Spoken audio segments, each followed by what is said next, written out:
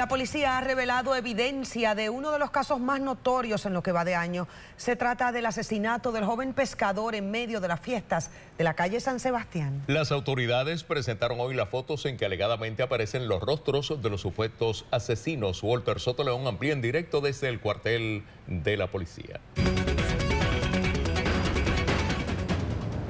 Bueno, luego de haber examinado más de 100 horas de vídeo captado por 32 cámaras de seguridad de unos establecimientos en la periferia de la calle San Sebastián, y se revelaron unas imágenes de los sospechosos de haber asesinado al pescador de Cataño.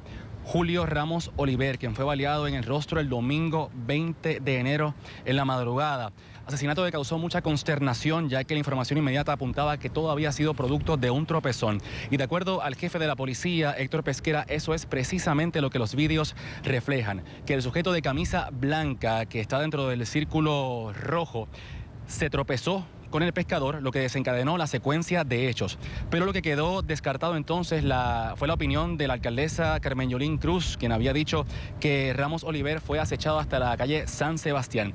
Según Pesquera, son tres sospechosos, un joven de camisa blanca, otro de camisa azul y otro de camisa negra que están dentro de los círculos rojos, pero que en total son nueve las personas que están involucradas y entre ellos hay dos mujeres. El fiscal general José Capó, quien estuvo en la conferencia de prensa, no quiso revelar quién disparó, pero el detalle hasta ahora es que ni la policía ni la fiscalía sabe cómo se llaman ni de dónde son estos sospechosos. Vamos a escuchar al jefe de la policía, Héctor Pesquera, y luego al fiscal general José Capó que me identifiquen estos individuos por nombre, que me diga quiénes son, que llamen al 343-2020, 343-2020.com o bastaya.com, que es la aplicación.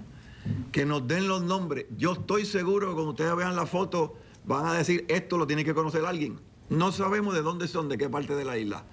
Así que la investigación no la podemos llevar para establecerlo como siempre lo hacemos la evidencia forense no es mucha en, la escena. No, no, tenemos esa habilidad. Habían 300 mil personas, ustedes lo saben. Es que tengo que entrar entonces en la evaluación de la prueba que tenemos y eso es lo que obviamente le estoy diciendo que no voy a hacer en este momento. Hay urgencia porque obviamente el público reclama de que el sentido que este crimen no quede impune. Y de hecho los esfuerzos que están dirigidos de la policía como de la fiscalía en este momento van dirigidos hacia esa dirección. Que ya sabe, si usted conoce a uno de estos individuos, puede comunicarse al 787-343-2020. Pasando